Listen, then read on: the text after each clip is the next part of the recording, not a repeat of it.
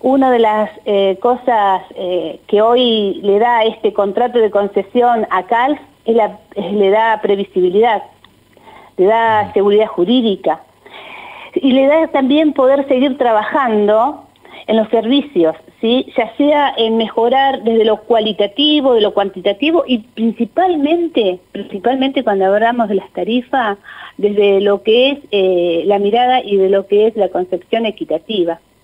Sumado, sumado que en este contrato hoy dice que la cooperativa pasa a ser distribuidora.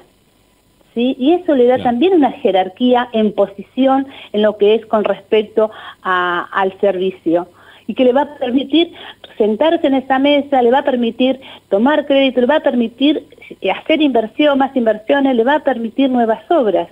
Realmente este yo quiero destacar que realmente se fue construyendo un consenso para lograr, para lograr este despacho. Este contrato establece un cuadro tarifario que va a ser de transición hasta que se realice la auditoría, la auditoría ¿sí? Este, ¿Qué implica? Este aspecto, o sea, en cuanto al servicio, también vamos se va a estar sabiendo lo que vamos a, se va a saber lo que se va a estar abonando o vamos a estar abonando nosotros los vecinos y las vecinas de ciudad por el consumo de energía, o sea, a partir de la puesta en vigencia de ese contrato.